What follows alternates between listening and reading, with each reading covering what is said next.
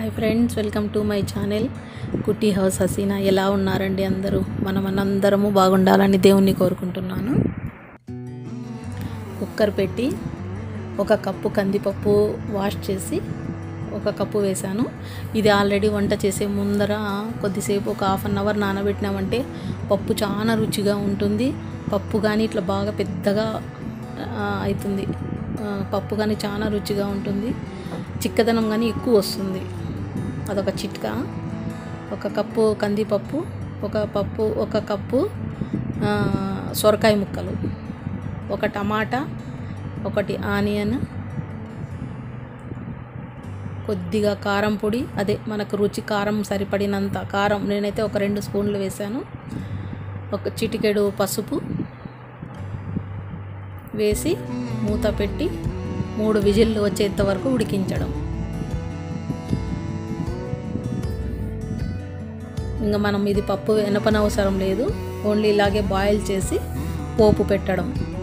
ఇది మూడు విజిల్ వచ్చిన తర్వాత చింతపండు ఒక చిన్న నిమ్మకాయ సైజ్ అంత చింతపండు నానబెట్టి పులుసు అందులోకి వేసాను చాలా అంటే చాలా రుచిగా ఉంటుంది.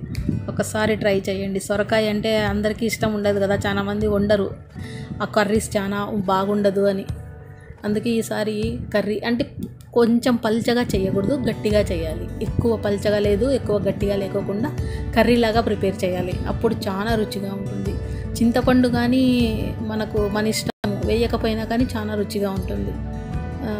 మళ్ళీ నైట్ రోటీ లేస్ రోటీ లెగ్ కానీ వాడుకోవచ్చు. చింతపండు వేసినా బాగుంది వేయకపోయినా బాగుంటుంది. కుక్కర్లో ఉన్న వాటర్ పైకి రాకోకుండా ఒక రెండు స్పూన్లు వా- ఆయిల్ వేశాను. ఇదొక చిట్కా.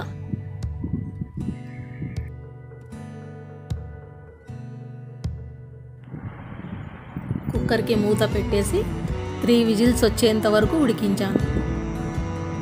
పప్పు నానబెట్టినందువల్ల ఏమవుతుందంటే మళ్ళీ మనకు పలు ఇట్లా పలుకులు పలుకులు పప్పు పప్పు కనపడదు. బాగా మెత్తగా మ్యాష్ అయిపోయినట్లు అయిపోతుంది.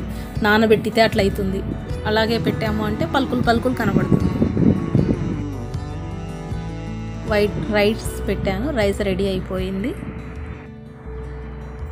గిన్నె పెట్టి ఫ్రై ప్యాన్ పెట్టి ఆయిల్ వేసాను. ఒక రెండు మూడు స్పూన్లు పోపు దినుసులు జీలకర్ర ఆవాలు కరివేపాకు ఒకటి ఆనియన్ కట్ చేసి వేసాను. ఇది బాగా దోరగా ఫ్రై అయిన తర్వాత ఉడికించిన పప్పు ఇందులోకి వేసేసాను. వాటర్ మనకు చూసి వేసుకోవచ్చు. పల్చగా లేకుండా చింతపండు వచ్చేసి ఒక కప్ అంత అదే చిన్న చింతపండు నిమ్మకాయ సైజ్ అంత చింతపండు తీసుకొని పులుసు తీసి అందులో వేశాను. కొద్దిగా వాటర్ మనకు చిక్కదనాన్ని బట్టి రుచికి సరిపడినంత ఉప్పు కారం మళ్ళీ రుచి చూసి వేశాను. చాలా అంటే చాలా రుచిగా ఉంది. ఫ్రైడ్ రైస్ చేద్దాంలే అదే బగారా రైస్ చేద్దాంలే అనుకున్నా కానీ ఎందుకో మళ్ళీ వైట్ రైస్ చేశాను. వైట్ రైస్ లేక చాలా బాగుంది. ఎప్పుడు పప్పు ఎనిపి చేస్తాం కదా అట్లా లేకోకుండా ఇది కర్రీ టైప్ ప్రిపేర్ చేశాను మీరు కానీ ఒక్కసారి ట్రై చేయండి. ఈ వీడియో నచ్చినట్లయితే లైక్ చేయండి షేర్ చేయండి. ఇప్పటి వరకు నా ఛానల్ సబ్స్క్రైబ్ చేయకపోతే చేయండి ప్లీజ్. ఒక్కసారి బాయిల్ వచ్చేంత వరకు పెట్టి ఉడికించి దించేయడం. ఇందులోకి కాంబినేషన్ వచ్చేసి వడియాలు పాపడాలు. పప్పు అయితే చాలా రుచిగా ఉంది ఈరోజు. నేను ఇంతకుముందు ఎప్పుడు శనగపప్పుతో చేసేదాన్ని ఈసారి కందిపప్పుతో చేశాను.